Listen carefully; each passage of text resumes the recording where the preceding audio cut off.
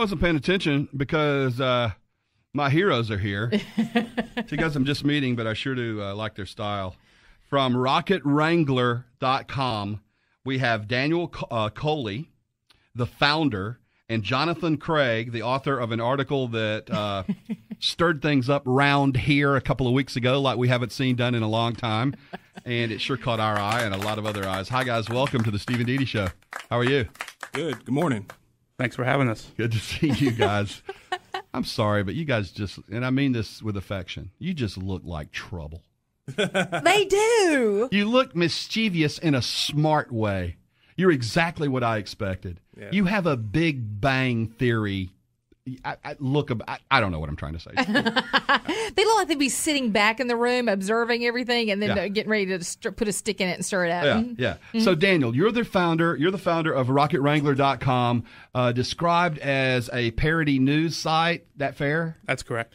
I think The Onion. A fair, fair comparison. It's a fair comparison, yeah. Okay. And I love on Facebook when those things get posted and people go crazy because they buy it. And it's always amazing to me. And then finally somebody says, Hey, wait a minute, guys. You might want to check the source on this, which just ruins it. It kind of ticks me off when that happens. So why did you why did you start the site? What prompted it? Okay. I've always enjoyed satire. Yeah. Satire is my favorite thing. My favorite movie is Doctor Strangelove. Sure. Uh, Great satire. uh-huh. And there hasn't there wasn't a source of satire in Huntsville. That's right. Uh, we, you know, there's not an onion for Huntsville or anything like that. And so in May, I decided to go ahead and start this, and I had several good writers with me, and we've been working at it since. Now you're a professional comedian, correct? Professional in that I get paid money on occasion for it. um, I don't make like a living off of it. Yet, I no. see. Okay. Uh, and you just where were you described? Were you described as Huntsville's best dress or the best dressed comedian? That's correct. I'm Huntsville's best dressed comedian because we all can't be funny. and uh, I'm not the best dressed comic today because I'm not wearing a suit and tie, but I always perform in a suit and tie. Do you really? That's my trademark. Yeah. Good for you. I was voted Huntsville's best dressed morning radio personality. You look it too. But today I'm in a black T-shirt and sweatpants, so I apologize. That's okay. All right, and introduce us to your sidekick here, who really made us aware, and I'm sure many other people of Rocket Wrangler. Okay. This is Jonathan Craig. He is the author of the uh, downtown stadium piece. Hi, Jonathan. Hey, Dee Dee. When you wrote the downtown stadium piece, which we'll explain in just a minute, in case anybody missed it, and we're going to link all this up on Facebook for those of you that want to like follow and get involved, because trust me, it will make you smile every day. MyStar99.com on Facebook or MyStar99 on Facebook. Uh, Jonathan, when you first wrote this downtown stadium article, did you have any clue it was going to uh, accomplish what it accomplished? I had no clue at all. I, at best, I hope that maybe some of my friends might read it and laugh. I didn't think like over 36,000 people would actually read the article. And You didn't envision Tommy Battle in the city council sitting down debating it? no, I, I and I heard some crazy stories about it too. Oh, yeah? actually, uh, one of the guys, the city planner, actually uh, was getting calls, and he had no clue about it. and uh, he he actually received an email from uh, the city council office asking who. Who this city planner was and why wasn't she fired already? And what what did you name her?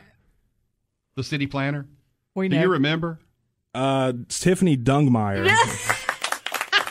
we love it. There is no Tiffany Dungmeyer, right? uh, maybe. Uh, she doesn't work for the city of Huntsville, does she? You you couldn't have picked a better name. I know. That the first thing that made me laugh out loud about the whole thing was the city planner Tiffany Dungmeyer. and then I kept I'm bad with names, honest to God. So I'm trying to tell people about your article. And I kept going, yeah, and they named the city planner Denise Turdknocker. he could never come up with a real name. Dee Dee would go, Dungmeyer. I love it. Producer Bob.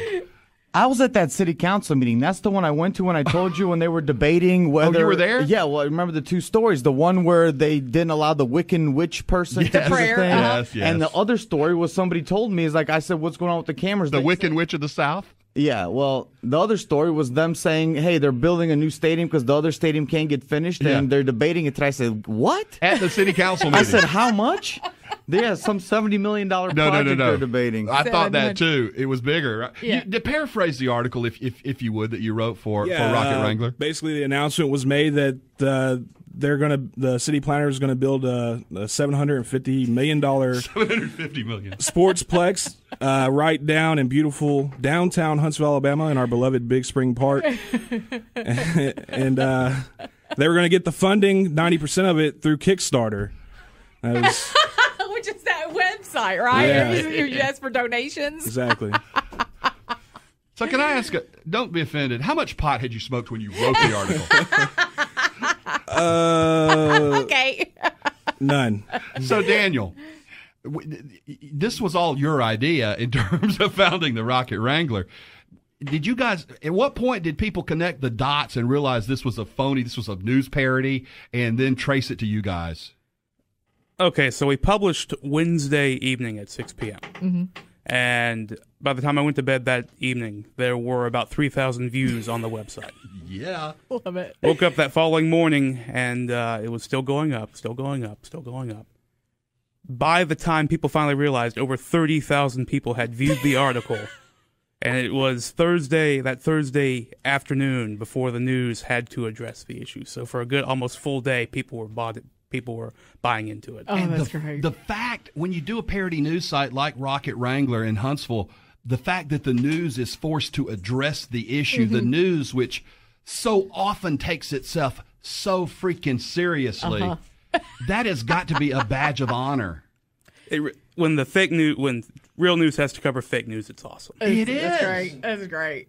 I mean, if Jon Stewart would high five you if he heard about this, really? That would have been that would be awesome. I mean, just absolutely. Now, what do you do for an encore? And do you have to lay low a little while? I mean, what do you do? Well, we're going to have all new articles. Well, I guess you can't tell us what you're going to do for an encore.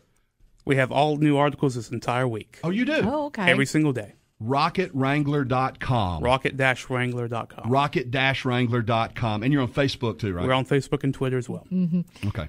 And what about the restroom? I was telling Steve about the best rest, uh, the best place to uh, take a whiz in Huntsville and the Monaco one.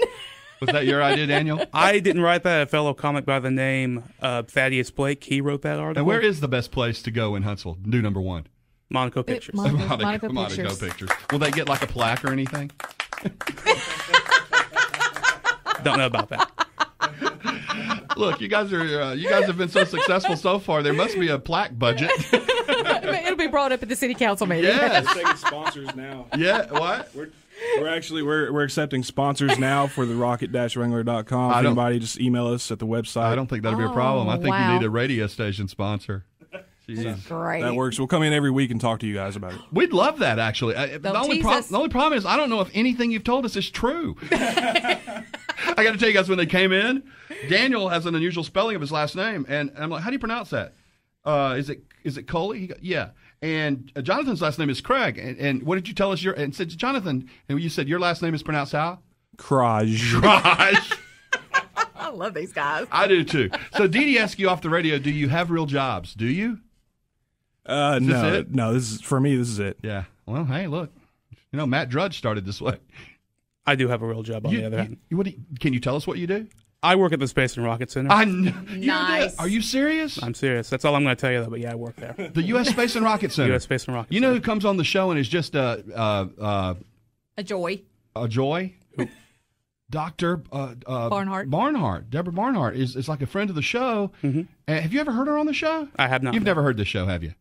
Actually, no. I haven't. That's fine. she comes on this show and gets crazy.